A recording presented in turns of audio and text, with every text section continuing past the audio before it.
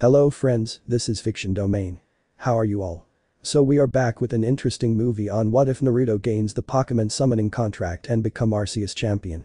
But before we start, if you want more stuff like this, then be sure to subscribe and like this video. And if possible share this video with your friends. Now let's start the story. Somewhere in the land of fire. Deep in the heart of fire country, we find a young man with spiky blonde hair, blue eyes and six whisker marks on his cheeks. He is wearing an eye-gouging orange jumpsuit, goggles on his head, blue ninja sandals and a headband with a leaf symbol carved into it. This young man is Naruto Uzumaki Namikaze the Jinchuriki of the Kyuubi no Kitsune. Currently Naruto is walking through the forest grumbling about something. Let's listen in, shall we? Kami damn it. Why is it that every time I want to train, I am ignored by my teachers? Yelled out Naruto. You see Naruto is currently on a three-year-long training trip with the Toad Sage Jiraiya in order to get stronger. Unfortunately, Jiraiya has yet to teach Naruto anything useful. So far he has given Naruto complicated materials to work with and no instructions on how to do them. Jiraiya has also used Naruto's hard-earned money to sleep with many women, not that he is successful at it. After two months out of Konoha and Naruto is not getting any stronger, in fact he is getting weaker since Jiraiya doesn't let him train at all. I don't get it. Jiraiya has not taught me anything useful only chakra control and difficult seals. He even has me trying to use Kyuubi's chakra, but it hurts when I draw it out. No doubt he is resisting. While I am out here doing nothing Sakura and Ino are getting trained by Tsunade Bachan in medical skills and healing techniques. Satsuki and Hinata are being trained by their clans. How am I supposed to protect anyone if I am too weak to protect myself? Asked Naruto no one in particular.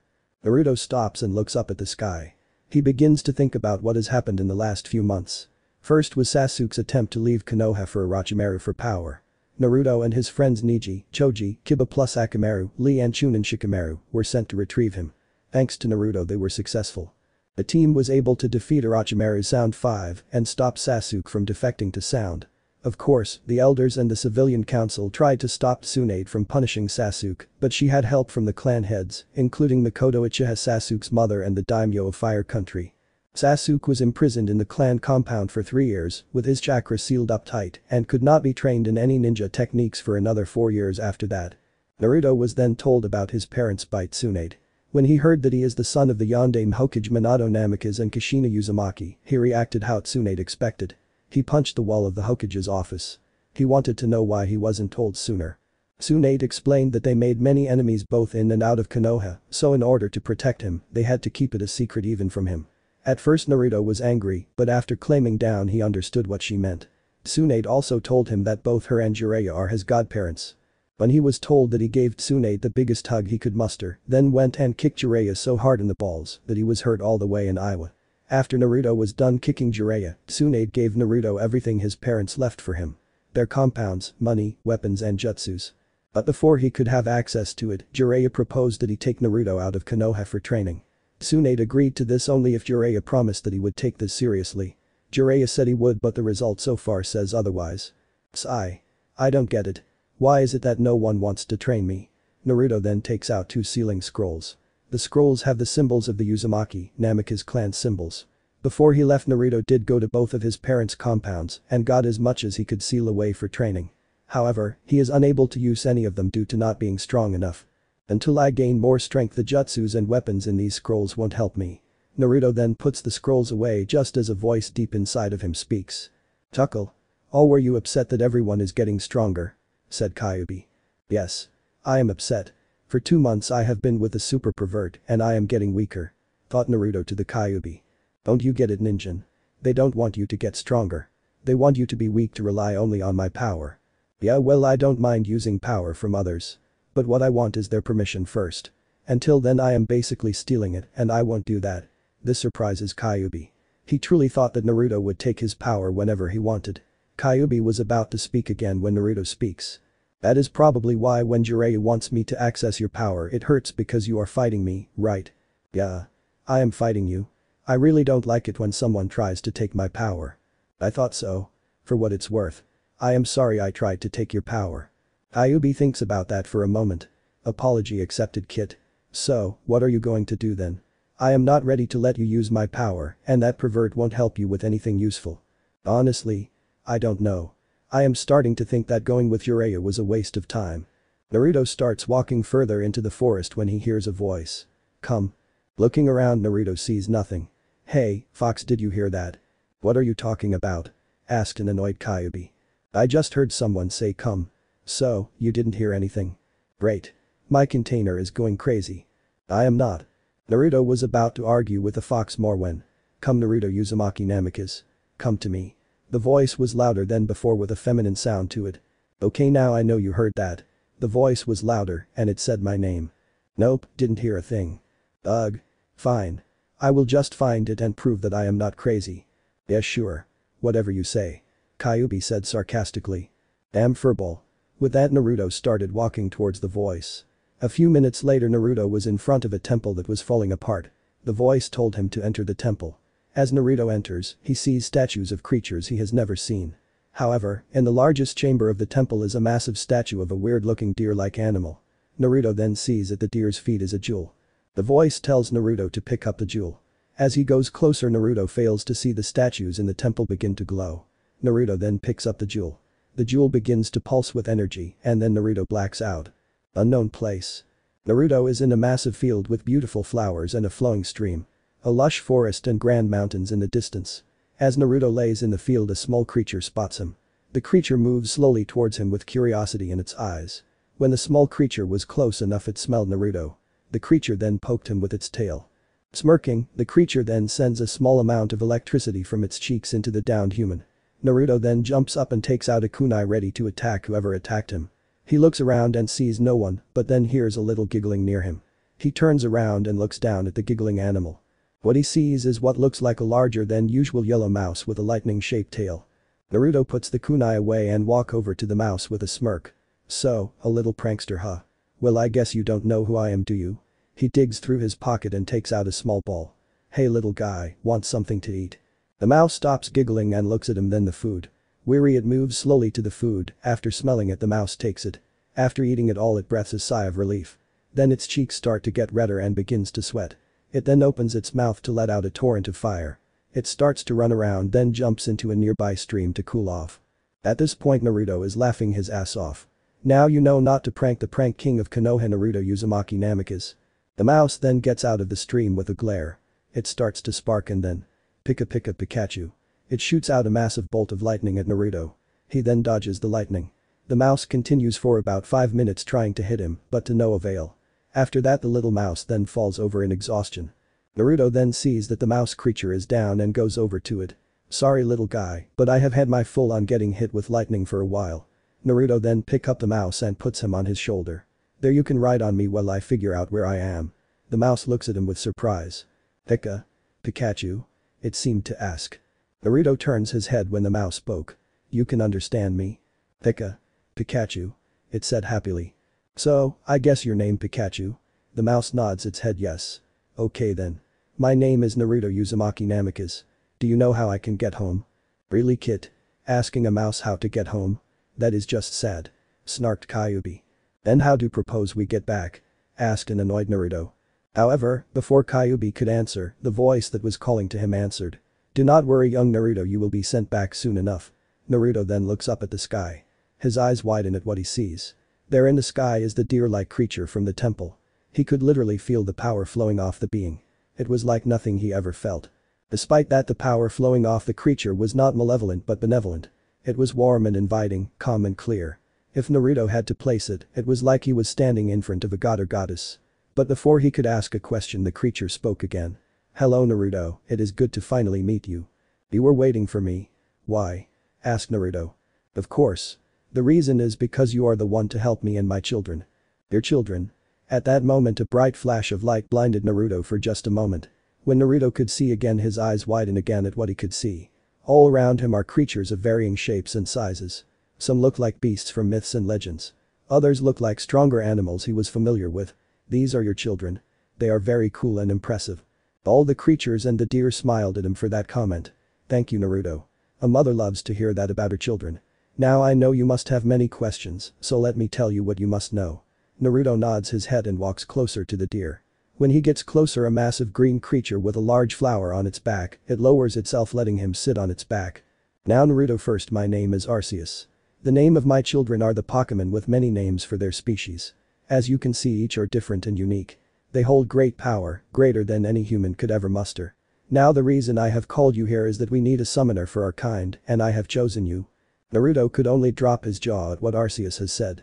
But why me? There must be others out there that could be worthy of your power. Arceus shakes her head at that. No Naruto. I have watched your world from the summoning realm since we fled our original world. Out of everyone I have seen you are the only one with a bright and pure soul to wield our power. Naruto is surprised at what he was told. But there is a question he had to ask. Original world. What happened to your original home? Arceus and the Pokemon adopt a sad look on their faces. I am afraid our home was destroyed by an unknown force. I had to use every ounce of my power and my strongest children's power to save every one of my children, but I could not save the humans of our home. For the first time in my long life I failed and it cost me a lot of good friends. Naruto has a sad look on his face as he speaks. I am sorry for bring that up. I didn't know. I am so sorry for your loss of both your home and your friends. Arceus and the Pokemon gain happy smiles on their faces at what Naruto says. So, what happens now? Simple Naruto. All you have to do is choose. Do you want to be our summoner or not? The choice is and always will be yours alone. Naruto thinks about this. A new summon could help him greatly. Especially since Jiraiya has not been training him since they left. He also was not taught much by Kakashi. The only thing Kakashi taught Naruto was the tree walking technique and nothing else. Kakashi didn't even train Sakura or Satsuki anything until after the Chunin exams. And the only things he taught them were simple taijutsus and genjutsus. Before Naruto could answer Arceus, Kyuubi spoke up. Listen kid. I think you should do this. These Pokemon are powerful and you could learn a lot from them. Said Kyuubi. Really? What about the toads? I thought I could only have one summon. Asked Naruto. Naruto. Jiraiya is holding you back. You know this. For two months we have been with him and what has he done? Try to sleep with women and peep on them. That is about the most he has done. He has broken the promise to Tsunade on the first day we were out of Konoha. So, take the deal with Arceus. Trust me on this. Naruto hums at what the Kyuubi has said. It's true, two months out and Jiraiya has broken the promise to Tsunade on the first day. Plus, the Akatsuki are going to target him soon. Naruto can't rely solely on the Kyuubi's power, since the organization works in pairs to take down Jinchuriki. So, with that thought Naruto gives Arceus his answer. Okay Arceus. I will be the summoner of the Pokemon. The Pokemon cheer in their own voices at that. For the first time in centuries they have a human to call their friend. Arceus gives Naruto a smile. Thank you Naruto. Now we must go over some things. First, I know that this world is different from our own. In our world we never killed humans often, but in this world that will change. We will help you no matter what even if we must kill other humans, just don't ask the younger ones to do that. Leave the dirty work to the older ones. Second, we will help you become stronger with your abilities. We will teach you Taijutsu, Ninjutsu, Kenjutsu, Genjutsu, Fuinjutsu and Sage training. We will help you every step of the way. We will never abandon you. We promise. Thank you, Arceus thank you. What about the toads? I can only have one summon at a time said Naruto. Don't worry about that. When I send you back you must absorb the jewel of life into your body. When you do, I will break the contract with the toads. After that we will leave for your training. Okay Arceus. Let's do this.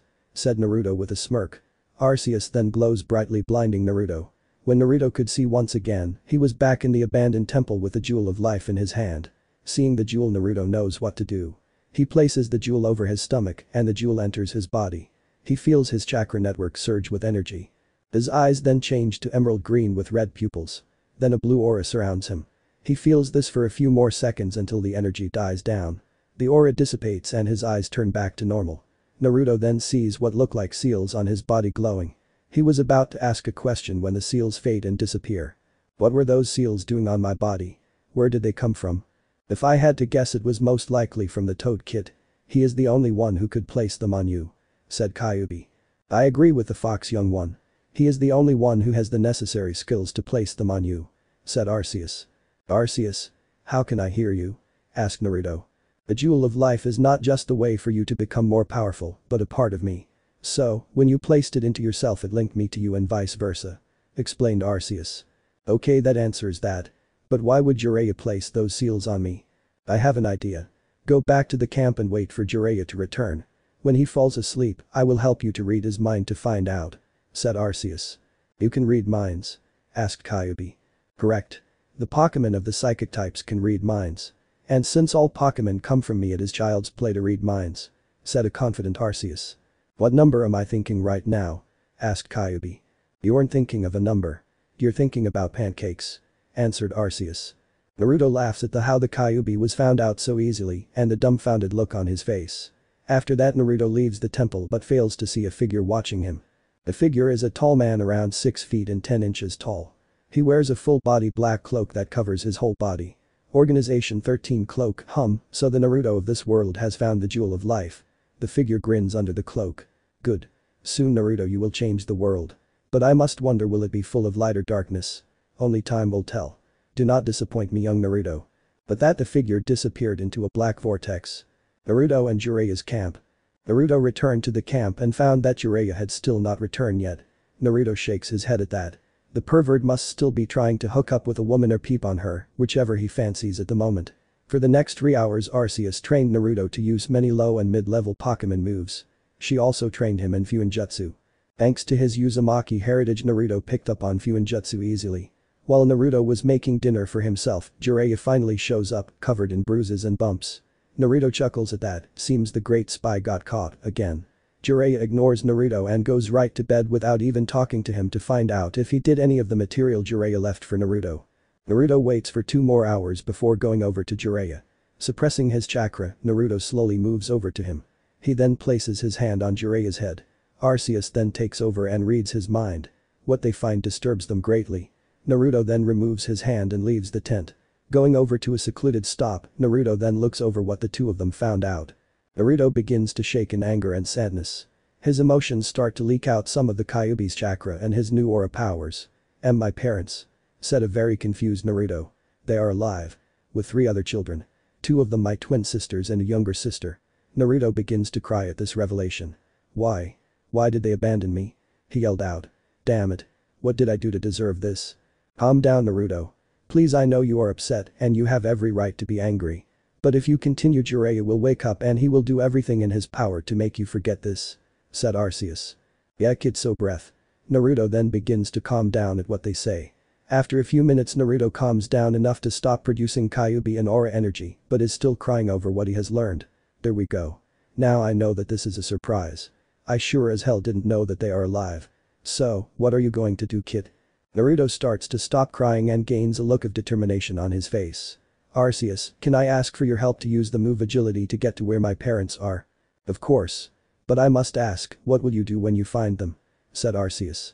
For now, I just want to confirm that they are alive. From there I will figure out what to do then. Said Naruto.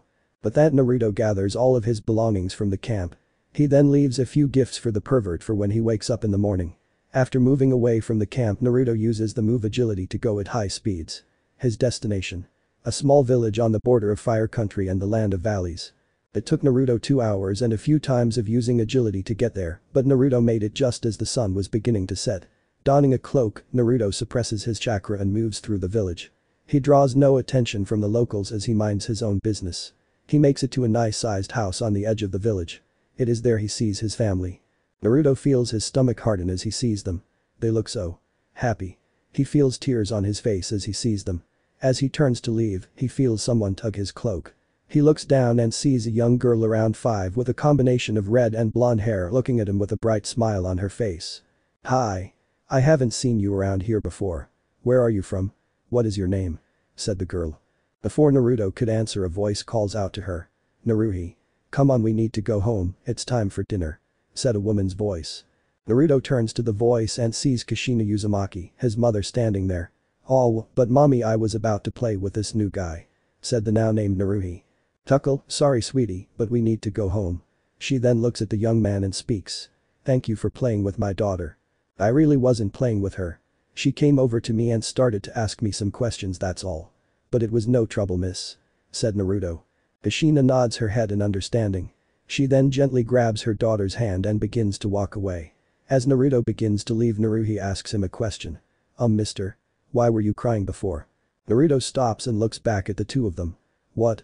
I saw tears from under your cloak. So, why were you crying? Asked Naruhi. Kushina was about to stop her from asking that question when Naruto answers. It's because your family reminds me of my family. What do you mean young man? Asked Kushina. I, my family abandoned me when I was young. Said Naruto getting gasps from the mother and daughter. I only found out because my guardian messed up and I found out. I went out to find them. When I did, they were living a good happy life without me. I didn't even talk to them. I saw no point. So, now I just wander around the elemental nations looking for a place to call home. By this point all three have tears falling down their faces. Naruhi goes over to the man and gives him the biggest hug she could muster.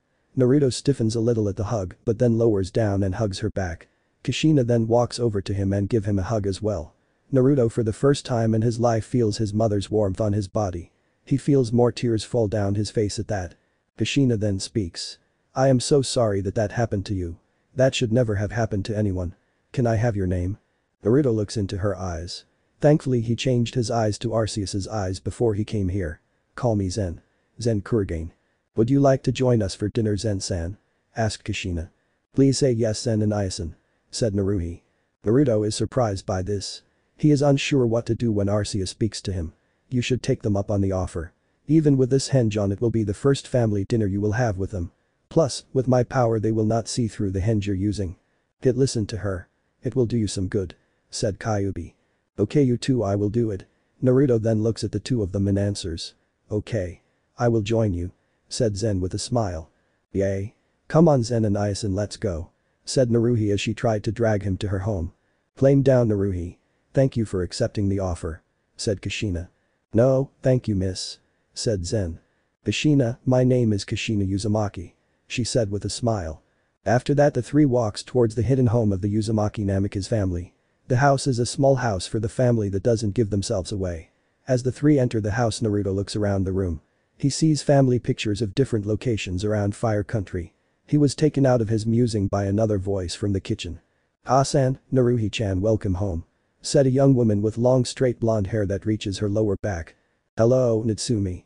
We also have a guest for dinner tonight. Said her mother. The guest Kasan. Who is it? The pervert. Said another female voice coming from up the stairs. Naruto turns towards the stairs and sees a young woman with spiky red hair that reaches her shoulders. No Naruko. This is Zen Kurogane. I offered him to join us for dinner tonight. Said Kushina as she introduces Zen. Zen then bows to the girls. Is that so Kushina-chan? Said a male voice coming from the back of the house. Naruto turns to look at where the voice came from and sees his father, Minato Namikaze the Yellow Flash and Yondaime Hokage. Hello, sir. You must be the man of the house. My name is Zen Kurogane. Minato has a smile on his face as he looks at Zen. Nice to meet you Zen. Welcome to our home. He then puts his hand forward for a shake which Zen reciprocates and shakes back. After about an hour dinner was finally served. The family of five plus guests sit at the table for their favorite food. Ramen. As the family begins to eat Zen removes his hood, giving the family a look at what he looks like. Zen has tan skin, shaggy brown hair with his eyes emerald green and red pupils. He also wears a spiked collar around his neck. And look up Zen from Persona Q to get an idea about what he looks like. The girls blush at his face. While Minato and Kushina are intrigued by his eyes. Naruhi is just happy that she can see his face. I must say Zen your eyes are interesting. Are they a bloodline limit? Asked Minato. Zen shake his head at that. No sir. These eyes are not a power but a curse. This confuses the family. What do you mean Zen? Why would they be a curse? Asked Kushina. Sai, in the Kurogane family if you are born with these eyes then that means you won't get the power of the family. It basically means I couldn't be a shinobi. Lied Zen. The Namikaze family was shocked by this. His eyes, while beautiful, meant that he didn't get the bloodline limit of the family. Kushina also realizes that this is why his family abandoned him. But before she could change the topic Naruko asked the one question Kushina hoped no one would ask. So where is your family? asked Naruko. Sai, my family abandoned me when I was young. They left me with a guardian that had no love for me.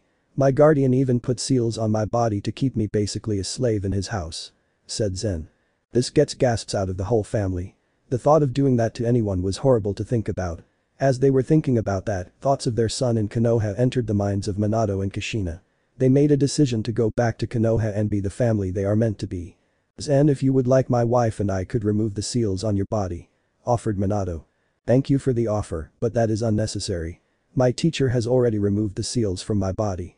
Plus, the seals were already failing anyways, since my former guardian was an idiot with seals. Answered Zen.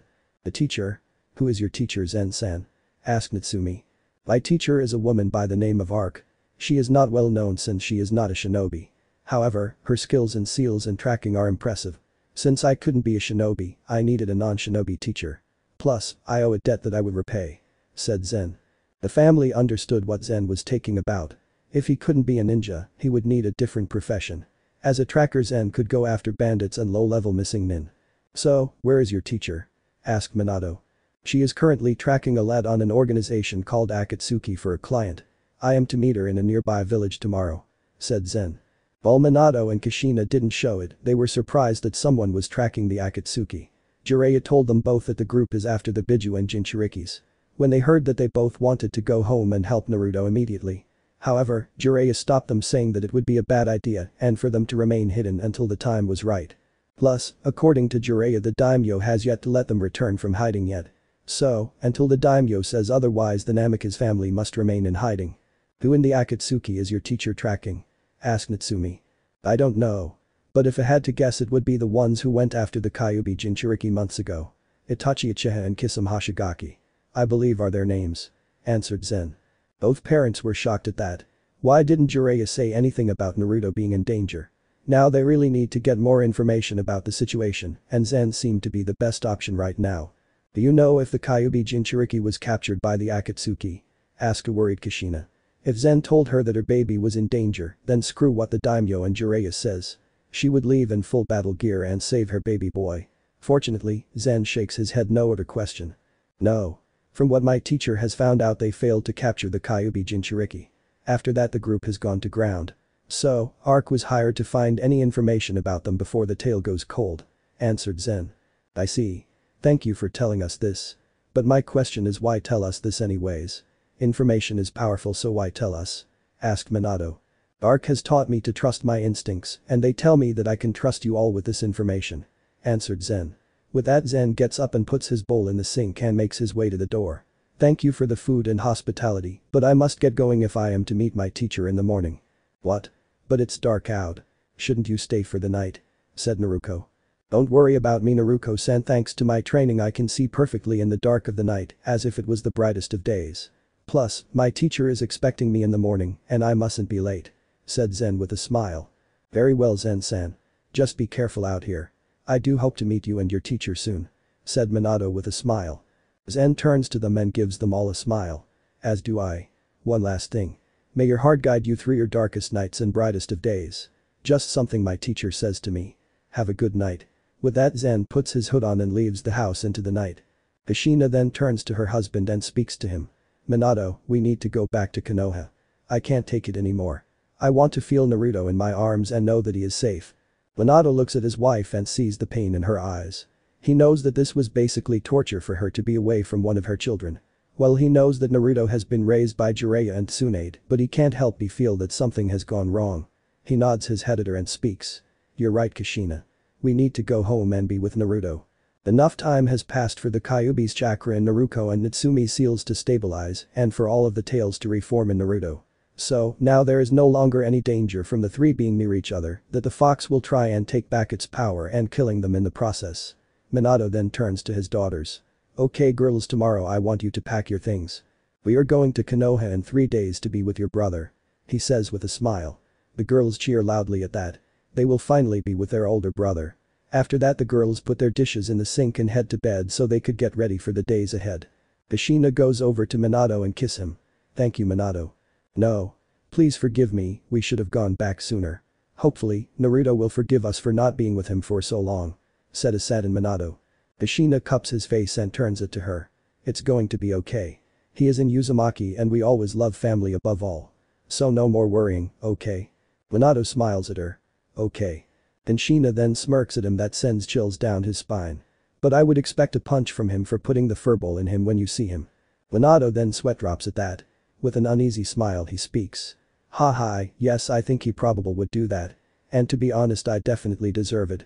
But that the two adults head to bed for the night unaware that Naruto heard everything the family said. So, they are going back to Konoha in three days. They want to finally be a family. Sigh, what I wouldn't give to have that years ago. Said Naruto. What are you going to do kid? Will you forgive them or curse them? Asked the Kyuubi. As much as I would love to be with them, the threat of the Akatsuki and Jiraiya's plan takes priority right now. So, with that end I can't be with them, not yet. What is the plan Naruto? asked Arceus. There is only one plan right now. Naruto takes off his headband and looks at it. I love Konoha and the people I have made friends within it. But I can't protect it if those that wish to harm it are also within Konoha. In order to help them I must do the one thing I thought I would never do. He then grips the headband tight in his hands, almost crushing it. I must no longer be a Konoha shinobi. But that Naruto jumps into the darkness of the night. The full moon shining in the background as he makes his way to Konoha one last time for the foreseeable future. Konoha midnight. All was quiet in Konoha. Most of the village was asleep with only those who were either assigned night duty or who lost a bet to their fellow ninjas to be on the dreaded night watch. It was at this moment we find Naruto moving through the village with no one the wiser. Since a young child Naruto was able to evade the village Anbu with ease be it at night or during the day. He first went to his parents' compounds and sealed everything in them since his parents left them for him so that Jiraiya and Tsunade could teach him and the family techniques. After that Naruto heads to the Uzumaki Forbidden Mask Shrine and grabbed all of the masks there. He would make sure that no one would use them against him or his friends. When he was done, he left letters in all of his friends' homes, explaining that he would not be coming home for a very long time and apologizes to them all especially Hinata, Satsuki, Ino and Sakura. He also left a letter in his parents' home for his family for when they arrive. After that Naruto makes a shadow clone and sends it to the Hokage's office. Before Naruto came back to Konoha, the Kyuubi told him of the shadow clone's secret that he would gain the memories of the clone after it dissipates. Naruto then leaves Konoha through the north gate. Before he does, he looks back at Konoha. Sorry everyone. But I can't protect you as I am. But we will meet again when I am strong enough. I promise. Said Naruto. He then uses agility to move away from Konoha in the blink of an eye. Konoha Hokage's office. In the large office of the strongest ninja village of the elemental nations sits the strongest woman on the planet, Tsunade Senju. What was she doing so late at night? Dealing with the bane of all Kages, paperwork. Yes, the job of the Kage is not all fun and games. It's more like a glorified paper pusher. The reason she was working so late was because her assistant Shizune told her that the paperwork was piling up too much and needed to be done.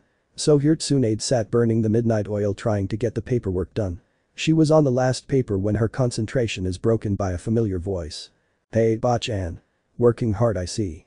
Said the voice with some mirth in it. Tsunade then grabs a paperweight and throws it at where the voice came from. The paperweight missed since she heard it hit the wall. Will you stop calling me that Naruto, and what are you doing here? Shouldn't you be with Jiraiya? Yelled asked Tsunade. Naruto smirks at her. To answer your first question. No way. I like calling you that. Tsunade gains a tick mark on her head at that. Naruto then loses his smile as he continues. As for your second and third question. Jiraiya's training has been anything but. The man didn't even wait a day before going off and trying to pick up women or peep on them. Tsunade begins to growl but not at Naruto. But at Jiraiya. Tsunade then calms down and begins to speak. I am sorry Naruto. I should have known he would do this. I should never have trusted him especially after the fact that he lied to me about your death for years. Naruto smiles at Tsunade. It's okay Bachan. I never blamed you for that. You trusted him because he is your former teammate. I get it. Tsunade smiles right back at him. So, where is the pervert? Do you convince him to come back or? Naruto shakes his head. No, left him in the camp we made about 8 hours ago about 25 miles southeast of Konoha. He came back covered in bumps, bruises and cuts with blood and went to sleep. Probable after failing to woo a woman to bed then peeped on her when she said no. That damn bastard. Kami damn it. Tsunade reigns in her anger, then speaks again. Well at least he was beaten for the act. Don't worry Naruto we will figure something out for your training. Naruto then gains a small sad smile, knowing what he was about to start next. About that Tsunade. Tsunade's eyes widen when she hears that. Naruto only says her name if he is serious about something. I realized something today from Jiraiya. So long as I am here or with Konoha, I will never be as strong as I want to be. Tsunade gains a dark feeling in her stomach, what do you mean Naruto? What did you learn from Jiraiya? I learned the reason why he doesn't want to train me. And that reason is? The reason is that he doesn't want to waste his time with those that he believes are meant to die. Answered Naruto. Tsunade's eyes widen even more at that. WH what do you mean Naruto? Why would Jiraiya think you are going to die? She begins to start hand signs for medical ninjutsu just in case Naruto is sick and needs treatment. Because he has plans for me and my Jinchuriki brothers and sisters throughout the elemental nations to die. What do you mean by that? Jiraiya found a scroll that said that there is a way to kill the Biju. Revealed Naruto. That is impossible. The Biju are living chakra beings. You can't kill them. Yelled Tsunade. Correct. No human can kill them. Said Naruto. Tsunade then realizes what he means. But the Biju can kill each other. Yes. The scroll states that if all nine of the Biju fires their Bijudamas at each other at the same time, the resulting energy wave will kill them. And I mean a permanent death. No coming back after a few years. No, a true death. Jiraiya has always hated the Biju. He thinks that they should never have existed and should be destroyed. He plans to make me just strong enough to kill my Jinchuriki brethren, but not enough to fight back against him. But that doesn't make any sense. If he did that then all of the villages would be on even playing fields. He would only make a plan if Konoha and Konoha alone would come out on top. Questioned Tsunade. She does make a point. She knows her former teammate well. He is a pervert and a rider of smut, but he is a fanatical believer of Konoha's superiority. He wouldn't make a plan unless Konoha came out on top in the end. Naruto nods his head at her.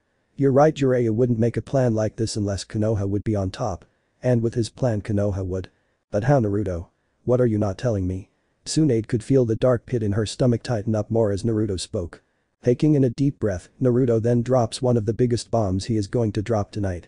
The reason Konoha would come out on top is because Konoha would still have a Jinchuriki after my death through my sisters. Tsunade for just a moment stops breathing. She could feel her world begin to break and shatter. Shakily she asks. SS's sisters. Naruto what do you mean sisters? You are an only child. Naruto shakes his head. No, I have sisters. Three sisters, two of them my twin sisters and one five years young. With my twins having the yang and yin halves of the Kyuubi's original power in each of them respectively. Tsunade begins to process this information. But what he says about the younger sister gets her eyes to widen once again. Young sister? You mean that? Naruto nods his head at her. Yes, my parents are alive and well. Tsunade's eyes almost pops out of her skull at that revelation. They are alive how? I came here and saw their bodies and it was at that moment she realized how this was possible. Blood clones with seals. That fucking bastard. He tricked all of us. The clan heads, Hiruzen sensei, the daimyo and me with those damn blood clones. At this point Tsunade was clenching her fists so tight her nails here drawing blood through her skin in anger. That is correct. He even tricked mom and dad with a fake scroll from the daimyo, ordering them into hiding for the past 14 years.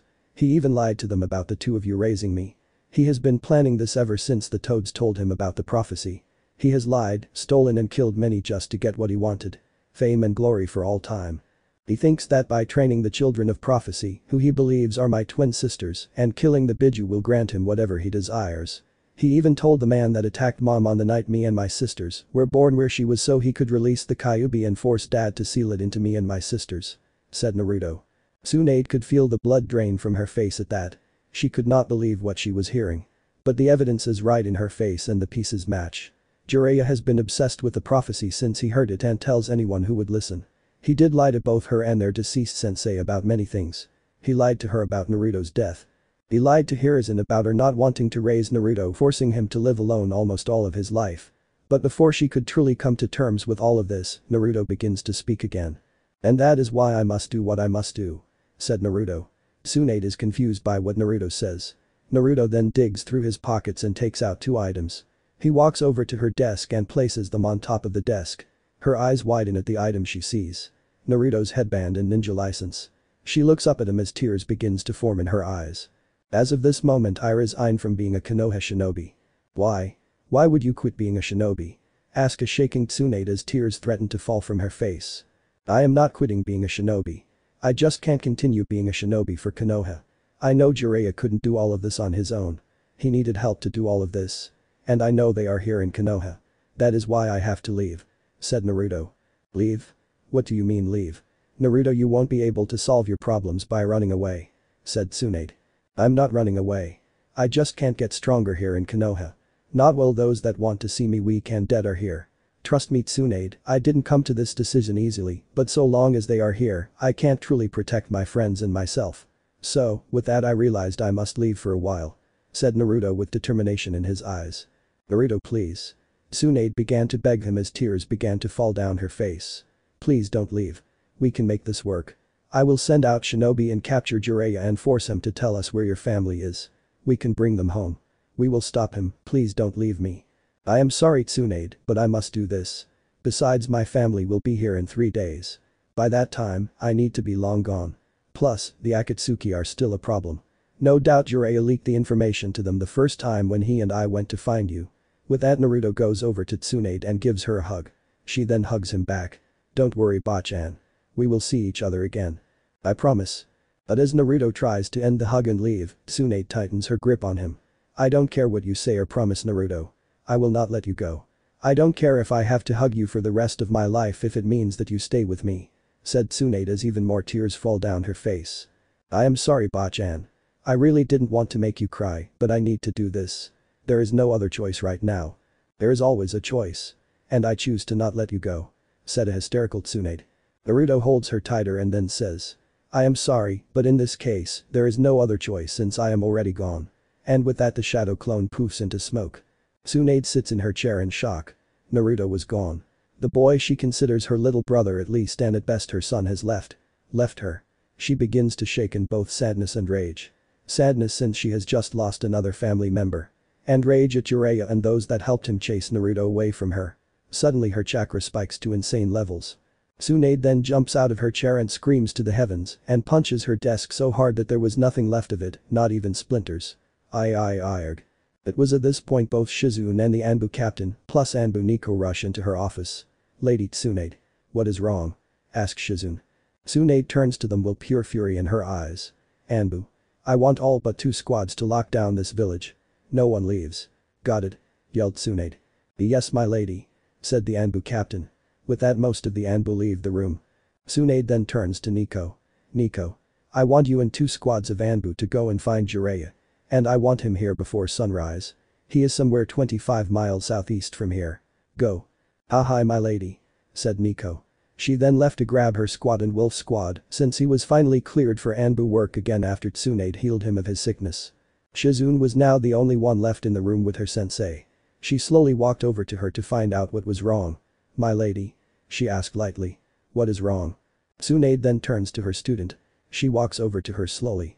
When she finally reaches her student, she pulls her into a huge hug. Tsunade then begins to cry once again. Shizune. She says through her sobbing. He's gone. He left us. Shizune is confused at this. What are you talking about?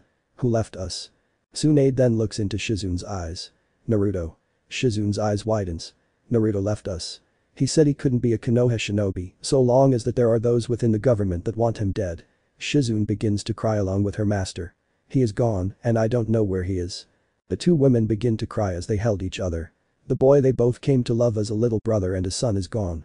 Then miles away from the valley of the end. Naruto has just gained the memories from the clone he sent to Konoha. He knows that he has broken Tsunade's heart with that stunt, but it had to be done. Jiraiya has powerful allies that will keep him alive and out of prison. Not even the daimyo can place him in a prison due to Jiraiya's spy network.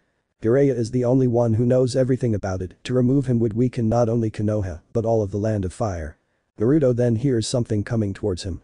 As he was about to get into a fighting stance he stops. Using his aura, he senses that it is one of his other clones. The clone enters the field and then hands Naruto a massive sealing scroll. The clone dissipates into smoke. Naruto then looks at the massive scroll. Naruto had sent that clone and others to the homeland of the Uzumaki, Uzushio, to grab everything there. Just as Naruto was about to leave, he hears a shout. Naruto then jumps through the trees to where the shout came from. When he arrives, he sees two girls, one with long black hair with a ribbon tie on the end of it and a girl with long red hair being attacked by a group of bandits numbering around 20. The girl with black hair is being held against a tree by one of the larger bandits, while the redhead is being held on the ground, with her legs broken shouting at them. You motherfucking bastards. Let Kin go you fucking shit-eaters. Yelled the redhead. Stop it. Let Tei go.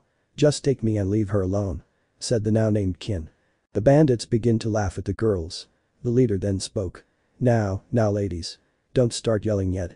He then smirked evilly at them. Soon you both will be screaming in pleasure. All of the bandits gained looks of lust on their faces. Both girls begin to feel dread raising in their souls as the bandits begin to remove their pants. Just as the bandits do more, two flaming kunai struck the bandits trying to remove Kin and Tayuya's pants in their heads. As the bodies of the bandits fall to the ground and burn to ash, the rest of the bandits take out their weapons and get ready for a fight. Kin seeing an opening pulls up her pants and runs to Tayuya and helps her pull up her pants and moves her around a tree to safety. The bandit leader, now furious that someone got in his way, starts yelling out. Alright asshole come out. Now. I will show you not to mess with me and my group. Before Naruto could show himself, Arceus speaks up. Naruto, I believe you should use some of your new powers for this fight. What do you have in mind? Thought Naruto. With the help from one of my children you can gain his power for a time. However, it won't be at full strength and you can only use the power for a short time. So, use it wisely and quickly. Said Arceus. Okay thought Naruto. And then Naruto, with both Arceus and her son's help, began to absorb nature chakra. After a few seconds Naruto began to transform. His body began to glow and change. His clothes changed from orange to white and light blue. He also gains twin sabers. Sage mode. Cobalion. The shout gains the attention of the bandits. When they turn to see where the shout came from, they see Naruto standing on a high branch in the trees. When they get a good look at him, they begin to laugh. Ha ha ha. Oh my god. Ha ha ha. What are you supposed to be? Some kind of clown. Said the leader. Naruto did not answer him, but instead, he moved at high speed and quickly cut down eight more of the bandits while they were still laughing. No longer laughing, the remaining bandits tried to attack him, but Naruto was too fast for them.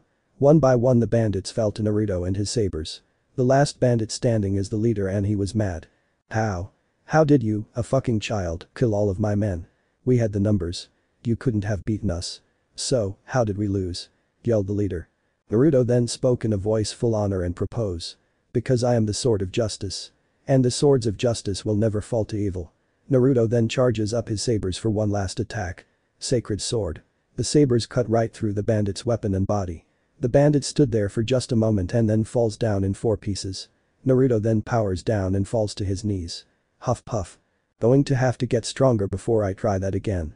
Thank you Arceus, Cobalion. Naruto then hears someone coming closer to him. He turns around and sees the girl with black hair walking towards him. He recognizes her from the Chunin exams and then he remembers the redhead from the retrieval mission. But before he could speak the girl speaks up first. Um, thank you for saving me and Tayuya from those bandits. You're welcome. Not to be rude, but why are two of Orochimaru's subordinates out here in fire country with one of them with broken legs? Said Naruto. Former subordinates. Said Tayuya. That fucking snake and his four-eyed fuck buddy came out here and found us. They then told us that they didn't need us anymore. The only saving grace is that they didn't kill us. Said that they didn't need to. That was two months ago. We have been out here since. But Tayuya said is true. We have been living out here since Orochimaru abandoned us. Said Kin. I see. Said Naruto. Thinking about this for a minute, Naruto then has an idea. Hey, why don't you both come with me? Huh? They both said. I know that this might sound crazy, but you both can't live out here forever. So, why not come with me? Uh, because you are a Konoha shinobi. And if we go with you your village will kill us both. Said Tayuya. But I am not a Konoha shinobi, not anymore that is. Said Naruto. You're not a Konoha shinobi. But when did you stop being one? Asked Kin. About an hour ago. Why? Asked Tayuya. Psi, the short version is that there are many within Konoha's government that want me dead by any means. And I can't get stronger and protect my friends if those who want me dead are still in power. Explained Naruto.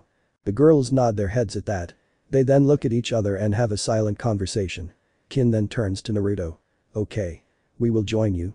I just hope we can get Tayuya some medical help soon. Naruto smiles at them.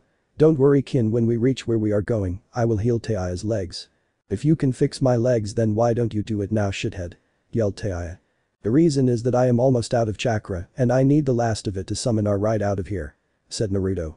He then goes through hand signs and says summoning jutsu. After that there were three poofs of smokes. From the smoke came three creatures that the girls have never seen. One looked like a large bird of prey. Another looked like the bird was covered in metal. The last one looked like a dragon with a flame on the tip of its tail. Vigio. Scar. Char. The girls had wide eyes at the creatures. Naruto then speaks. Girls meet my new summons and our rides out of here. Meet Pidgeot, Skarmory and Charizard. Each Pokemon nods their heads when their names are said. I call the flaming lizard. Said Tayuya. Everyone laughs at that. Charizard then goes over to Tayuya and gentle picks her up and puts her on his back. Pidgeot goes over to Kin and nudges her to climb on top of her. Naruto then gets on Skarmory. Okay girls. It's time to go. Said Naruto. So, where are we going? Asked Kin as she held on for dear life. We are going to the one place no one would look for us. The unclaimed regions of the elemental nations. Said Naruto. The unclaimed regions but no one goes there. Yelled Tayuya. Naruto nods his head. Exactly. And with that the three teens flew towards the unclaimed regions. They would not be seen by anyone for the next three years. Forest of Fire 24 miles away from Konoha. Here we find two squads of Konoha's finest shinobi running through the forest.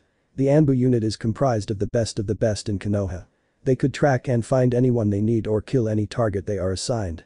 The only person the Anbu unit had problems with is Naruto Uzumaki Namikaze. The little ball of sunshine was able to outrun their fastest, hide from their best trackers, and prank them every week for 8 months straight without them stopping him once. These two units that are running through the forest happens to be the ones who like Naruto the most. They were sent to find the Toad Sage Jiraiya by the Hokage Tsunade and bring him back to Konoha for questioning and possible a massive beating, most likely the beating. Nico, do you know why Tsunade is yelling for Jiraiya to be returned to Konoha? asked Wolf. I believe that something has happened to Naruto. She was incredibly furious when she ordered me to grab you and our squads. Said Nico. But Naruto is with Jiraiya, isn't he? Asked Wolf. Something must have happened. Now come on. We need to find Jiraiya and get him back to Konoha before morning. Said Nico. All of a sudden, the squads of Anbu hear a loud yell coming from the distance. Dio? Oh, come on. Okay Naruto I get it I need to make more of an effort in your training. Now let me down. Said the voice. The two squads of Anbu enter a clearing and they begin to laugh. The reason? Jiraiya is tied up in his sleeping bag, upside down 30 feet in the air and covered in honey. Along with a giant bear trap underneath him, with what looks like two bears with bibs around their necks and utensils in their paws drooling at the trapped Sannin. Well this makes our jobs easier. Said Nico. Yeah. I will deal with the bears and trap. You get Jiraiya down. Said Wolf. They then get to work in getting Jiraiya down. Turns out the bears were really shadow clones of Naruto who hinged into the bears. After the clones dispersed and the trap was removed, Nico cut Jiraiya down, without anyone catching him. Oof. Ouch, that hurt. Why didn't anyone catch me? asked Jiraiya. Think of it as punishment for peeping on me and the other Kunoichi of the village and the nations. Said Nico. Yeah, yeah. Whatever. Now can you untie me? For some reason I can't get out of this. Said Jiraiya. The reason you can't get out is because there is a seal on the rope that stops your chakra from being used. This really makes our job easier. Said Wolf. Really? Damn the Brad is finally making some progress. Wait, what job? Said Jiraiya. Orders from Tsunade. We are to bring you back to Konoha immediately. Answered Nico. Why? Don't know. All I know is that Tsunade is very angry with you. She ordered the village into lockdown before she sent us out to get you. Said Nico. Yeah well Tsunade can wait. I need to find Naruto and see what else he has done so far. Now untie me so I can do that. Said Jiraiya. Sorry Lord Jiraiya, but Tsunade ordered us to bring you back to Konoha before morning. Said Wolf. Wolf then ordered two other Anbu agents to grab Jiraiya. Nico then had the rest of the Anbu agents to grab everything in the camp. Jiraiya complained but was ignored. The group then left unaware that someone was watching. Same mysterious person from the first chapter. Ho ho, so Tsunade has finally had enough of Jiraiya's actions huh? The figure then smirked under his black hood. Oh, this is going to be good. It will be almost as good as when Kushina gets her hands on Jiraiya's neck. Ha ha ha ha oh I got to record this for the future. Maybe I will get a prize for if I submit it to that TV show. The figure then entered his dark portal and left. Konoha a few hours later. After a few hours of running, plus listening to Jiraiya complain, the squad of Anbu returned to Konoha without incident. They bring the tied up Sannin into the Hokage's office. There they see not only the Hokage, but also all the clan heads and their children, along with the senseis except Kakashi and Sasuke. Most of the people in the room look pissed. Others are close to tears. Naruto's friends have the letters that he left for them in their hands. Satsuki looks like she is going to strangle someone in a few seconds. Hinata, Ino and Sakura are both glaring at Jiraiya and ready to cry at what has happened. Uh, mission completed Hokage-sama. May I ask why are the clan heads, their children and senseis are here? Said Nico. They are here because this concerns them. Now, was Jiraiya any trouble? Said Tsunade who was glaring at Jiraiya with such intensity that any harder he would have caught on fire. The Anbu agent started to chuckle a bit confusing everyone in the room. Wolf then began to speak. No Hokage-sama he was no trouble. The reason is because it appears Naruto played a prank on Jiraiya. It involved Jiraiya's sleeping bag, a rope with a seal on it, honey, a bear trap and two shadow clones hinged into bears. Everyone got a quick laugh at that. However, the mood quickly went back to a serious setting. I see. Is the seal on the rope still strong? At Wolf's nod, Tsunade then dismisses the Anbu agents. So, why am I back in Konoha so soon? Me and Naruto were only gone for two months. And why is everyone glaring at me? asked Jiraiya. Tsunade took in a deep breath. Jiraiya, I am going to ask you this only once. And you better answer me with the truth or you will regret it. Jiraiya raised an eyebrow at that. What do you mean Tsunade? What is this all about? Do you have a plan to kill the Biju and sacrifice Naruto to do it? asked Tsunade. Jiraiya began to sweat a bit at that. How? How does she know about that? I told no one. So, how did Tsunade find out? This might explain why the clan heads and their children are angry. No doubt they were told by Tsunade. I am going to have to lie my pants off to get out of this. Thought Jiraiya. What are you talking about Tsunade? You know as well as I do that no one can kill a Biju. And why would I kill Naruto? He is my godson for crying out loud. Lied Jiraiya. Jiraiya was then punched so hard he threw up what was in his stomach. Jiraiya then looked into the very angry eyes of Tsunade. Wrong answer. Inoichi. Yes, my lady. Enter his mind. Find the proof of what he has done. And find out if Minato and Kushina are alive. Said Tsunade. Yes, my lady. Ino please help me. Said Inoichi. Yes daddy. Said Ino. Now Jiraiya was sweating even more. How does she know that Minato and Kushina are alive? I hid their deaths from everyone, including the daimyo and sensei. Inoichi and Ino then placed their hands on Jiraiya's head. Jiraiya tried to fight it. But Shikaku and Shikamaru held him down with their shadow techniques. After a few minutes both mind walkers exited Jiraiya's mind. Ino went over to a trash bin and started to throw up into it. Choji and Asuma went over to her to help ease her through it. Oh oh, Kakam Kami. Stuttered out Ino. The thing's in his head. He is a monster. Tsunade went over to Ino to help calm her down. Sakura and Hinata also went over to help Ino. It's alright Ino. Calm down. You are safe here. Ino begins to calm down with her teachers and friends help. Tsunade then turns to Inoichi. What did you and Ino find Inoichi? Jiraiya has done horrible things my lady. First, he lied to everyone in the village about Minato's and Kushina's deaths. He then lied to them about taking care of Naruto. He said that he had already contacted you to help him raise Naruto. He then lied to Hiruzen about you not wanting to take care of Naruto. He lied to you about him being alive. He even killed three of our Jonins who found Minato and Kushina by accident. He also told the masked man where Kushina was giving birth to Naruto and his sisters. He even found a pair of Uzumakis and sold them to Orochimaru without telling him that they were Uzumakis.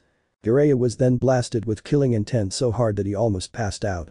The energy and hatred was like nothing he had ever felt before. Tsunade was looking at him with murder in her eyes. You. Said Tsunade in a deep demonic voice. You fucking bastard. First you lied to everyone in this village and the daimyo. Then lied to me about Naruto's death. And planned to have him die just to kill the Biju in some sick form of hatred. And now I find out that you sold two of my family to that snake what the fuck is wrong with you? Listen to me Tsunade. This is just a misunderstanding. There is no way to kill the Biju and I would never kill Naruto. Plus, Minato and Kushina are gone. Naruto is an only child. And I would never give Orochimaru anyone let alone Uzumaki's. Trust me. Lied Jiraiya. He was trying to buy some time to get away. He needed to get out of Konoha and hide Minato and Kushina. Then find Naruto and remove him from view in order to make his plan for the Biju to work. But before Jiraiya could move he was punched again, but this time by Satsuki. You fucking pervert. Do you honestly think we would believe a word you would say, Naruto left us all letters of what you were going to do to him. He even told Tsunade about this last night. Mikoto then grabbed her daughter and moved her away from the pervert, even though Mikoto would like nothing more than to kill him here he said, they needed more information from him and they couldn't get it if he was unconscious or dead. Satsuki is right. There is no longer a reason to lie anymore Jiraiya. You have been caught red-handed. Plus, Inoichi and Ino went into your mind. There are no lies in there and you know it. Swan then looks to Guy. Guy, go into Jiraiya's belongings and find the scroll about the Biju. Guy nods his head. His usual smile not on his face.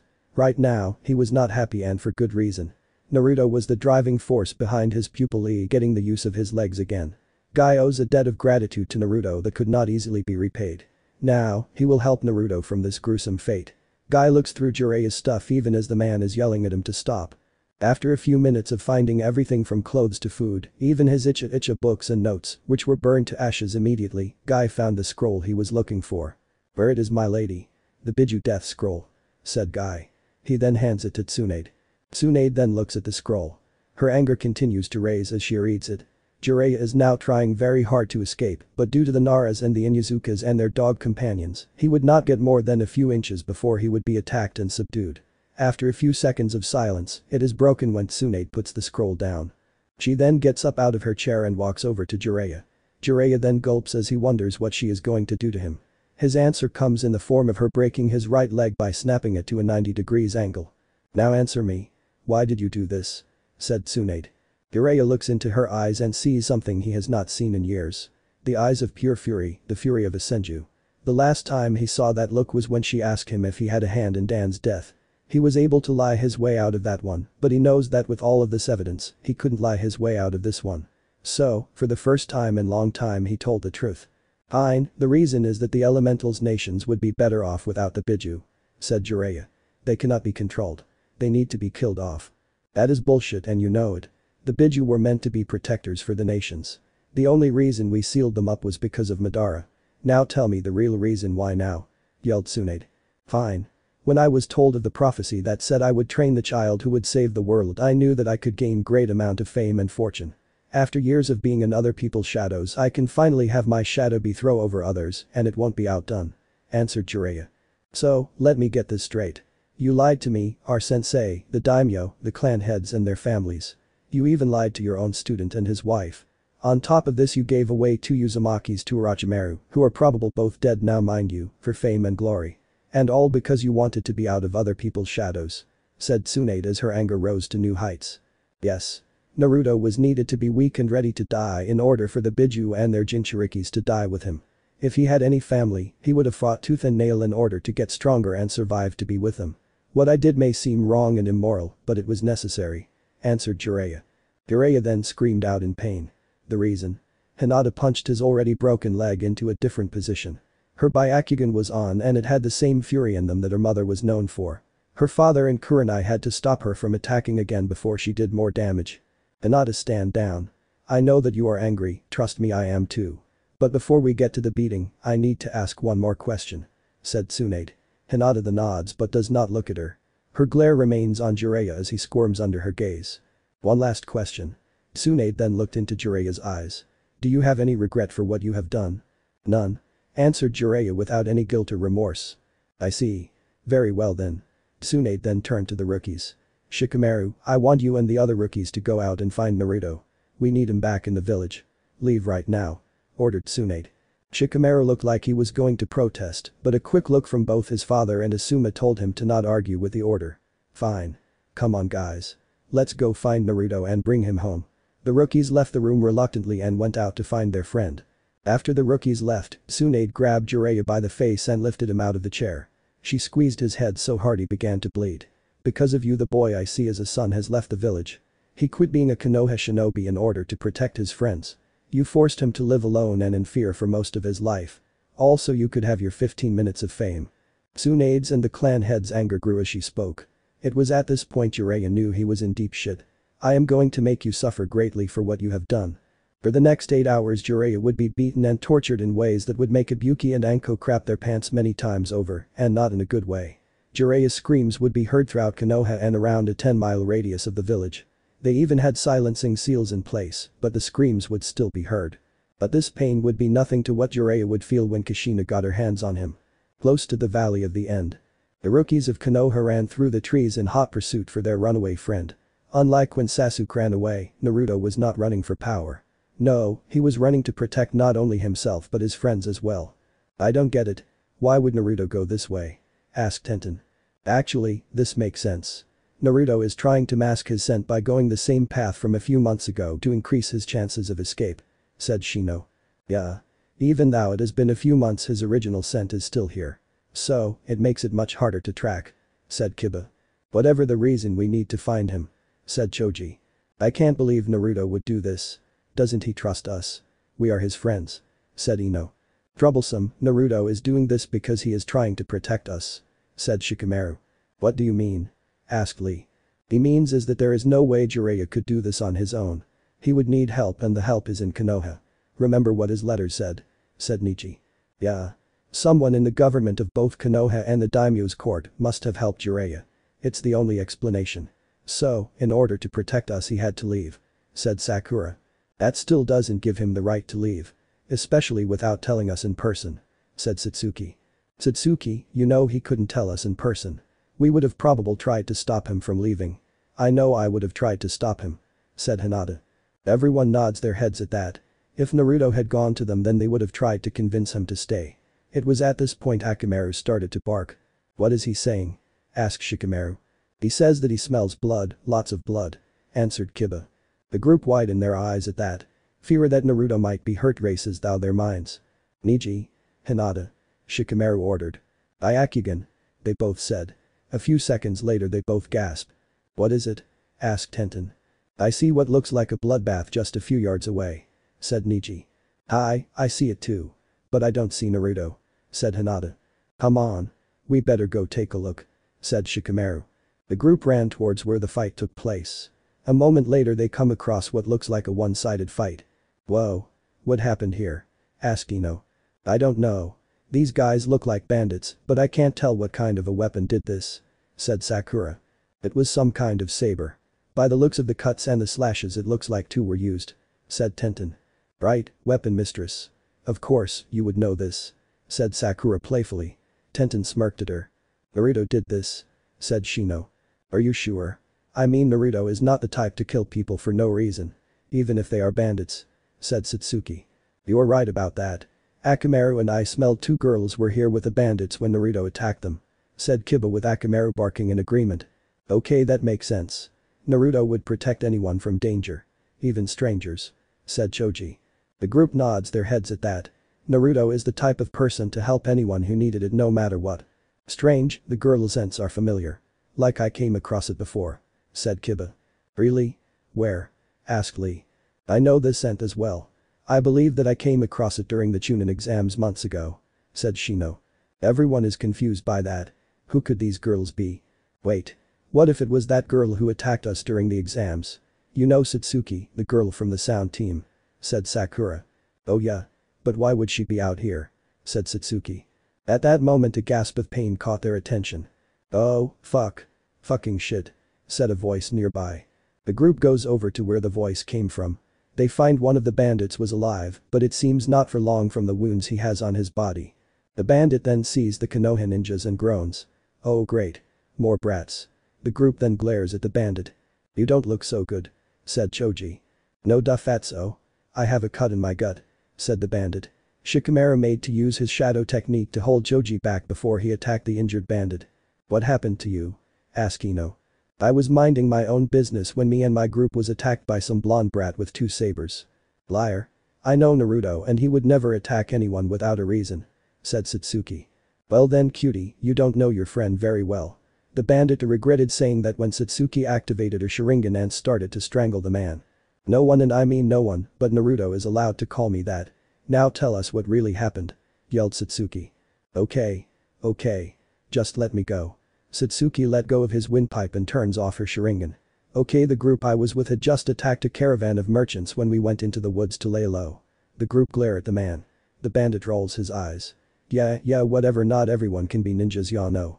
Anyways, our group found two girls in the woods. One was injured and the other was helping her heal. I think you can guess what happens next. Yes, you tried to rape them. But our friend killed your group and saved them. Said Neji. Every one of the ninjas glared even harder at the vile man. Hey. What I do or who I do is my business. And I am not going to have a bunch of snot-nosed brats judge me for it. Said the bandit, who regretted saying that when Tenten threw a kunai just centimeters near his balls. Enough. Did you see anything else? Asked Shikamaru. No, I blacked out when your friend slashed me. What did the girls look like? Asked Shikamaru. A redhead and a girl with long black hair with a ribbon tied in it. Also, the redhead had a real mouth on her. She could outcurse a sailor any day of the week. The entire group widened their eyes at that. Sakura, Satsuki along with teams 9 and 10 knew who the girl with black hair was but could not remember her name. While those from the retrieval mission knew of the girl with red hair as one of Orochimaru's Sound 5. But before they could ask any more questions, the bandit started to convulse. Ino and Sakura tried to save him with what little knowledge they gained from Tsunade, but unfortunately the bandit died from his wounds. Damn, sorry guys, but the wounds were too much for him said Ino. Yeah, uh, I am surprised that he survived this long. Said Sakura. It's alright you two. Now let's go over what we know so far. Said Shikamaru. First is that Naruto finds out about the plans Jiraiya has for him. Said Neji. Second is that Naruto also finds out about his family being both alive and lied to about his status in the village. Said Shino. Third is that Naruto gets the idea in his head to stop being a Konoha shinobi and leave for an undisclosed amount of time to not only grow stronger but to protect us from those in the government who want him dead. Said Satsuki. Next he runs up here where he was a few months ago to escape and make it impossible to locate him. said Choji. And lastly he finds two of Orochimaru's subordinates out here in the woods about to be raped and saved them. Said Lee. But where did they go? It's not like they flew away. Said Tenten. Actually, I think they did. Said Kiba. The group looks at Kiba with confused eyes. What do you mean Kiba? Naruto and the girls can't fly. Said Choji. You're right they can't. But I smell three animals here. Two giant birds and what smells like a burning lizard.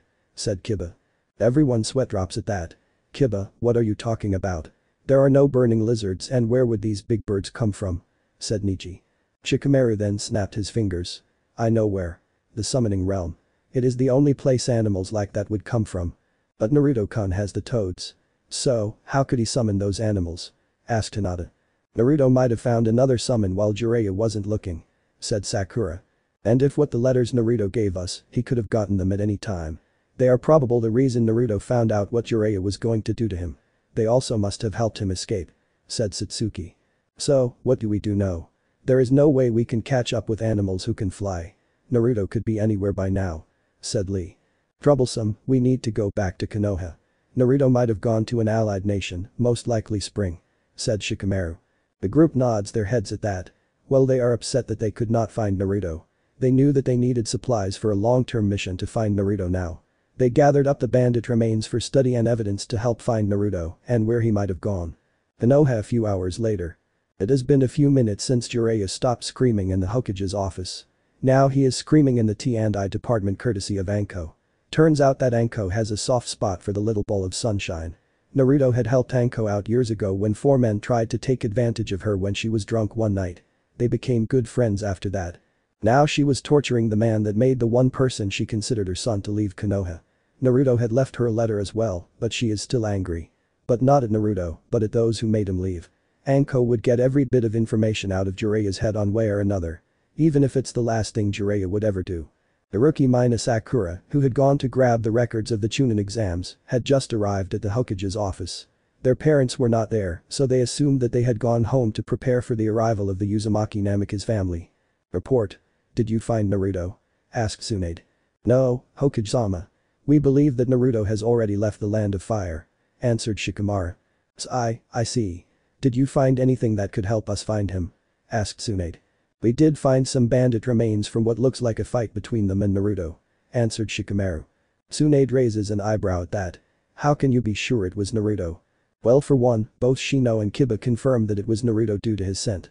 Plus, we found a bandit still alive and he said that him and his group were attacked by a blonde shinobi. Said Neji. Is this bandit with you? No, sensei. He died before me and Sakura could heal him. Said Ino. I see. Where is Sakura anyways? Asked Tsunade. Right here sensei. I went to go grab the records of the Chunin exams. Answered Sakura as she came out the door. And why do you need those records? Asked Tsunade. We found out that Naruto-kun had fought and killed the bandits because they were going to rape two girls. Thanks to both the bandits' description and also thanks to both Kiba and Shino, we now know that one of the girls was here in Konoha during the exams. Said Hinata. Really? Who was it? Asked Tsunade. Got it. Her name is Kin Tsuchi. She was the only Kunoichi on the sound team that Orochimaru sent during the exams. Said Sakura. She then gave her master the notes on Kin to her. Um, that's strange. Says here that Orochimaru used her for a sacrifice to fight my sensei and that she is dead. Said Tsunade. Of course. Yelled Shikamaru. Everyone looks at him. Don't you guys remember? Orochimaru used the Edo Tensei to bring back the previous Hokages to kill the Sandaime. If Orochimaru intended Kin to be used as a sacrifice for the Jutsu, then it must have failed. But why would it fail? Asked Lee. Because, there is a Hokage that is not dead yet. The Edo Tensei can only bring back those who are dead, not the living said Shikamaru. The group finally understands what Shikamaru means. Orochimaru must have tried to bring back Minato during the invasion, but since Minato is alive and Orochimaru didn't know that, the jutsu failed and Kin lived through it. But why was Kin and that girl from the Sound 5 out near the Valley of the End? Asked Tenten. If your boss tried to kill you would you go back? Plus, that other girl failed to bring Sasuke to Orochimaru, so he probably considered her a failure. Said Neji. Wait what do you mean? Naruto left with not one but two of Orochimaru's former subordinates. Asked Tsunade. Yes, and he probably convinced them to go with him since he is not the type to leave people in danger. No matter who they might be. Said Shino. Great. Groaned out Tsunade. Did you find out where Naruto could have gone? We think he might have gone to Spring. But we also think Naruto has a new summon, since there is proof of animals that don't belong in the land of fire flying away with Naruto and the girls. Said Shikamaru. Well you are right about the summons. After you left and when me and your parents were done beating Jiraiya into paste, I summoned the boss of the slugs and asked her to speak to the toads. Said Tsunade. What did the toads have to say about all of this? Asked Satsuki. Well for one they had no idea of what Jiraiya was up to. He even locked Minato out of summoning the toads. It's why they thought he was dead as well. Also, someone has removed Naruto off the Toad summoning contract without the Toad's permission. Said Tsunade. How is that possible? Asked Neji. The slugs and toads told me that even though they both are very powerful summons, they are mid-tier level summons at best. Only a much more powerful summon can override another summon's contract. Answered Tsunade. And Naruto found one. Great. Then he could be anywhere and we would never find him unless he wants to be found. Said Satsuki. Unfortunately. Said Tsunade. So, what now? asked Choji. As much as I hate to say this. We can't do anything right now. The daimyo is coming tomorrow and I need to explain what has happened. Hopefully we can keep Naruto out of the bingo book. And then Naruto's family is coming in a few days. Now I know that you guys might be angry but remember they all have been lied to for years as well. So, don't hate them for what was out of their hands. Said Tsunade. Oh, I won't hate them. I hate Jiraiya because of his stupidity. Fame and glory. That is why he did this. Fame and glory that people would forget in two years after it was over. Why couldn't you let Naruto have what is his right and that is his family? Yelled Satsuki. I don't know what is going on in that head of his. Alright go home and rest. We will find a way to bring Naruto home. Dismissed. Said Tsunade. Hi. Said the rookies. After the rookies left the office, Tsunade then opened a drawer in her desk. From the drawer she pulls out Naruto's headband and license. Tsunade begins to cry again at the reminder of the one person she loves as a son. She failed to protect him once again. And it was a because of Jiraiya. Tsunade then puts the items back in the drawer. She then thinks back to everything that has happened in the last day. Her anger grows as she remembers, but she controls it for now. She needs to be ready for when the daimyo comes and the Namikaze family returns to Konoha. Tsunade no longer has any pity for when Kushina gets her hands on Jiraiya, for this is all his fault. Konoha three days later. The day seemed a lot darker than it should be. There were clouds covering the sky not letting any sunshine to come down from the heavens. Like the gods knew that something was going to happen. Tsunade had already spoken to the daimyo days ago about Naruto and Jiraiya. Over course the daimyo was pissed. Someone in his court had gone behind his back and caused a young man, who had done nothing to deserve this, pain and suffering on levels that no one should go through.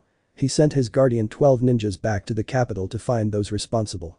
What they found shocked the daimyo to his core. It turns out that his oldest son had helped Jiraiya to do this. His reason? Greed. The daimyo's oldest had done this solely for more money. Jiraiya had promised untold wealth if he helped him. And so, the son helped Jiraiya. The son stole one of his father imperial stamps and made a fake scroll to fool Minato and his family into hiding. Currently the son is in the palace prisons for his crimes and will be punished when his father returns to the capital. Now we look to the south gate where a family of five are closing in on Konoha. Unaware of what they will find when they arrive. So, this is Konoha huh? Nice place. Said Naruko. It looks beautiful. I can't wait to live here said Natsumi. Yes, Konoha is a great place to live. I just hope that Naruto will understand why we had to leave him for so long. Said Minato. Don't worry Minato. If he is like any Uzumaki, he will no doubt punch you, then hug you with all his strength. I just can't wait to have him in my arms again. I wonder if he has a girlfriend yet. Said Kushina. Who knows? Maybe. He might even be in love with either Hitomi's or Mikoto's daughter. Said Minato. Or maybe both. He would need multiple wives to help rebuild both of our clans you know. Said Kushina. Tuckle, yes, yes I know. We will talk to him about that in time. I just want to make a bond with him first and train him as well. Said Minato. Great idea. I could train him with the family sword styles. Said a happy Kushina. Hurry mommy, daddy. I want to meet my Ani-chan. Said Naruhi. Tuckle, calm down Naruhi-chan. Naruto is not going anywhere. Said Natsumi. Yeah it's not like his isn't in the village said Naruko. Well he might not be. He could be out on a mission. Said Minato. If that is the case then we will just have to wait until he gets back home. Said Kushina. Okay. Said a happy Naruhi. They finally reach the east gate when they are approached by the Anbu. Yondaime Sama, it is good to see you again. Said the Anbu with a rhino mask. Thank you. But may I ask, how did you know we would be here? Asked Minato. I am afraid that Tsunade Sama has ordered me to not tell you sir. Said Rhino. Why not? asked Kushina. I am sorry, but Tsunade-sama will answer all your questions when you see her. Answered Rhino. The family nod their heads, but for Minato and Kushina, they can't help but wonder what is going on. The family was then shunshine to the Hokage's office. After they made it to the office, they see both the daimyo sitting in a chair next to the Hokage's desk and Tsunade sitting in the Hokage's chair. Hello Minato, Kushina welcome back to Konoha. Said the daimyo. Hello, daimyo-sama. Said Minato and Kushina. When their parents said that all three children followed suit and did the same. It is good to see you all after all this time. And hello to the three of you. I am Tsunade Senju, your godmother. Said Tsunade with a smile. The three children smiled right back at her. Now then, Minato, Kushina there is a lot to discuss and what we are going to talk about is not for your children ears. So, if you don't mind. Said the daimyo. Betting the hint, Minato and Kushina made shadow clones and took their children to the Uzumaki compound. After the clones and the children left, Tsunade activated the silent seals in the room. Tsunade. What is going on? Asked Minato. Sai, Minato, Kushina what we are about to discuss is very important. So, please don't interrupt until the end. Said Tsunade. Tsunade. Can I ask where is Naruto? I would like to see him before we begin. Asked Kushina.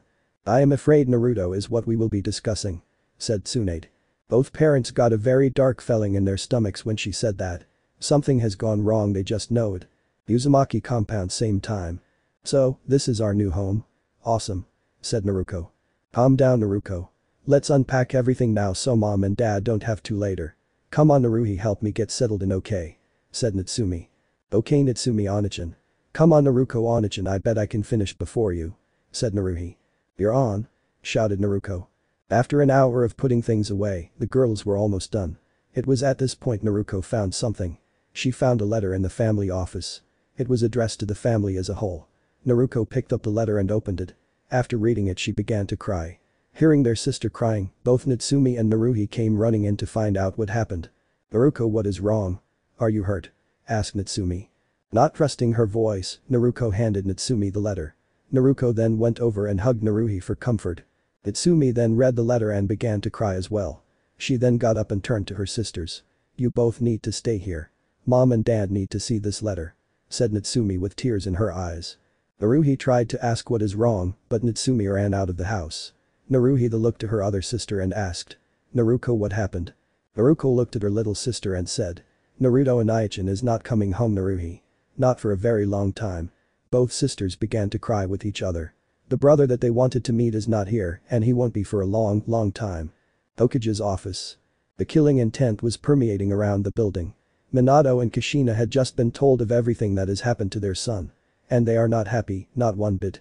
Attacked, beaten, poisoned, drowned and other horrible things done to him for no reason other than because of something not of his choice. Minato has never felt like such a failure than right now. He trusted both his sensei and his village and they both betrayed him. Kushina looked like she was ready to kill half the village. Her hair acting like the Kyuubi's nine tails and her chains coming out of her back ready to kill a lot of people. But before both parents could go on a rampage, the door to the office swung open to reveal an out-of-breath Natsumi in the doorway. Natsumi. What is wrong? Are you okay? Asked Kushina who went over to her daughter to make sure she was alright. Naruto. Naruto he. Natsumi tried to say. Natsumi, calmed in breath. Said Minato. After she calmed down Minato spoke again. There that's better. Now, what about Naruto? He is gone. He left a letter in the house. Said Natsumi. She then gave her parents the letter. Naruko found it while we were putting things away. I brought it over as quickly as I could. Minato then takes the letter. Thank you Natsumi. Please go back home and keep an eye on your sisters. Natsumi nods to her father and then left. Minato then begins to read the letter out loud so everyone in the room could hear. Dear family. If you are reading this letter, then it means that you have returned to Konoha. By the time you read this I will have left the village. For most of my life I have been alone. I have had more assassination attempts on my life than all Hokages combined in one year alone. I have had to sleep with one eye open at night. My birthday, the one day every child is supposed to look forward to, is the day I fear the most due to the fox hunts that happen every year. Most restaurants throw me out and most stores sell me outdated or broken goods for three times the price of regular goods. But even with all of this, Konoha is still my home. The reason? The friends I have made here. They became the light in my life. That light saved me more times than I can count. But now that light is being threatened. I found out through my summons that Jiraiya plans to have me kill my fellow Jinchurikis around the nations. He also plans to use Naruko and Natsumi as a means to conquer the other hidden villages to make Konoha the superpower he thinks it is meant to be. Because of this, I know that I cannot stay in Konoha and protect both myself and my friends. So, it comes with a heavy heart that I must do this. I must leave Konoha and become stronger to not only to protect everyone I love, but also my fellow Jinchuriki. I must stay away from Konoha for a long time. I know that this will break many hearts, but it must be done. Tou-san, Ka-san know this, I do not blame you for what has happened to me. I know that you would never have let this happen if you knew. I may have only known you for just a day, but I love both of you and my sisters with all of my heart and soul. I promise that I will come back one day. And I always keep my promises, for that is my ninja way. Love, Naruto Uzumaki Namikaze. P.S. Thank you for the ramen. It was delicious. After Minato had finished everyone in the room was crying. Minato was holding the letter so hard he almost ripped it in half. The only reason he didn't was because this is the only letter he has from his son. He then rereads the last line. Zen. Zen is Naruto. Said Minato. Minato? Who is Zen? Asked Tsunade. A few days ago, we had a guest in our home we had in the village we hid in. He called himself Zen. It was thanks to him we decided to come home. Answered Minato. It was at this moment Kushina stood up. She then walked towards the door. Kushina. Where are you going? Asked Tsunade. The vent some frustration on a pervert. Snarled Kushina. Very well. He is in the T&I department. The last room of the building. Just keep him alive Kushina. Said Tsunade. Why? Kushina growled out. We need him to find those who helped him. Plus, as much as I hate to admit it, we need him to find Naruto. Said Tsunade. Kushina thinks it over for a moment and then speaks. Fine. I won't kill him, but I will make him wish he was dead. After she left the room, Tsunade looked to Minato. Are you not going with her? Minato shook his head. No, she needs this. Plus, I blame myself for what has happened to Naruto. I don't deserve to punish Jiraiya. I should have known that he would do this. He had been obsessed with the prophecy for years. And when he heard about Kushina being pregnant, he tried to convince me to transfer the Kyuubi into my children when they were born. But I refused. Then he told the masked man where Kushina was giving birth. He then let out the Kyuubi and forced you to seal it into your children. Said the daimyo. Yes. I have been such a fool. I never deserved that hat. And I don't deserve it now. Said Minato. No, Minato you do deserve it. It's those that have pissed on your legacy that don't deserve you. But you are needed to wear this hat if we are to get rid of those who have harmed your son. Will you take the hat back Minato? Or will you let those who hurt Naruto win? Asked Tsunade. Minato looked into the eyes of both Tsunade and the daimyo. They both awaited his answer. With newfound determination, Minato answered. I will do it. I will take up the mantle of Hokage once again. And I do it not for those who have hurt my son, but for those who have helped my son and for Naruto.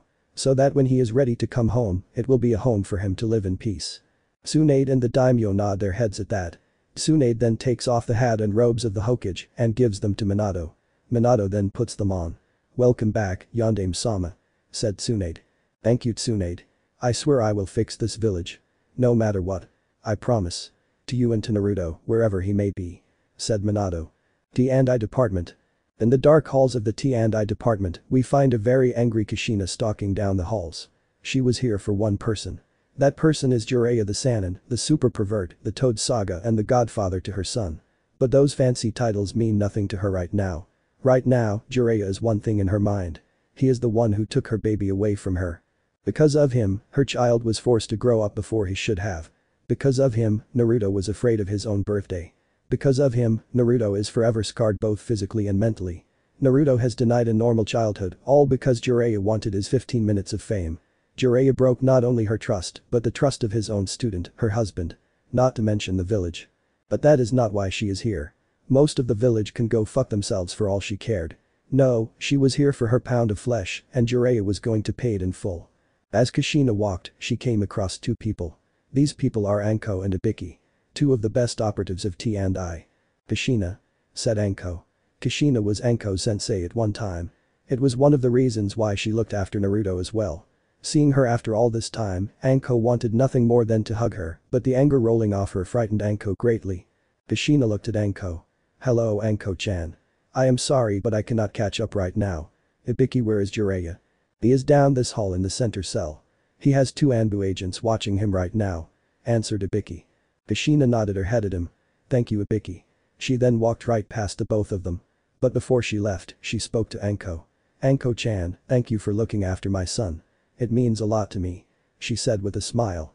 Anko smiled right back at her. You're welcome, sensei. Kushina then continued down the halls. I don't envy Jiraiya right now. Said Ibiki. My only regret right now is that I can't witness what she is going to do to him. I will tell you this Ibiki, I saw Naruto as a son for the longest time. And because of Jiraiya, Naruto is gone and we don't know where he is. Said Anko. I know Anko. But he did promise that he would come home again. And you know his ninja way. Said a smirking Ibiki. Anko smirked right back. Yeah. He keeps his promise. No matter what. Few minutes later. Play Star Wars Darth Sidious theme. Kushina walked towards the cell Jiraiya was in. Like Ibiki said, it was the last one down the hall in the center with two Anbu agents guarding it. She walks up to the cell. She then speaks to the Anbu. Leave us. The Anbu look at her for a moment and then nodded at her. They unlock the door and walk away. They did not want to be here for this. Kushina then walked into the cell. When she was in, she slammed the door hard, waking up the pervert inside. The slamming of the door got Jiraiya's attention. He looked like he was thrown into a blender twice, then allowed to heal and finally beaten by an army of wrestlers. He had never felt so much pain in his life. He looked up and saw Kushina standing near the door. When he saw her, he knew why she was here. So, you have come for your pound of flesh, haven't you? Asked Jiraiya as he breathed heavily. You know the answer to that. Kushina snarled out. Why are you doing this? You only knew Naruto for a day, so why do this? You shouldn't have any love for him damn it. Then you never really knew me or Minato. We both lost our parents when we were young. Me when Uzushio was attacked and Minato when he was born. We both swore we would love all of our children no matter what. We swore that we would be there for them no matter what path they chose in their life. And because of you our son has been through hell for a thousand people. Shouted Kushina. It had to be done. You of all people should understand me. You had the Kyuubi sealed inside of you. You of all people know that the Biju can't be controlled in any way. You should want them dead more than me. No. I lived with the Kyuubi all my life, but not even once did I want the beast dead. The Biju are a part of the world. To remove them would hurt everyone, including you. No. The Biju are monsters and monsters need to be killed. And my son has to die in order for that to happen. For the greater good. Absolutely. If one person has to die for others to live their lives, then yes. Naruto is going to die so that the threat of the Biju ends forever. And when Naruto and Natsumi help destroy the other hidden villages, then Konoha will reign supreme for all time. Raved Jiraiya. Kushina growls at that. First her baby boy and now her little angels. No more. Well she promised she would not kill Jiraiya, she didn't promise that he would come out of this in one piece. Kushina then took out a knife from behind her. Jiraiya. She said lowly. This scared Jiraiya greatly. You took made my son leave his home to protect not only himself but his friends as well. Now you threaten to use my daughters as weapons. No more. She looked into Jiraiya's eyes as her eyes turned soul-burning red. You said I am here for a pound of flesh. You are wrong. Jiraiya started to quiver in fear. Kushina then spoke in a dark demonic voice. I don't want a pound of flesh. I want all of your flesh. Jiraiya's screams could be heard throughout the land of fire. This was the day that everyone learned what happens if you hurt the child of an Uzumaki. The end. I hope you enjoyed this episode. Remember to subscribe and like this video. See you in the next video.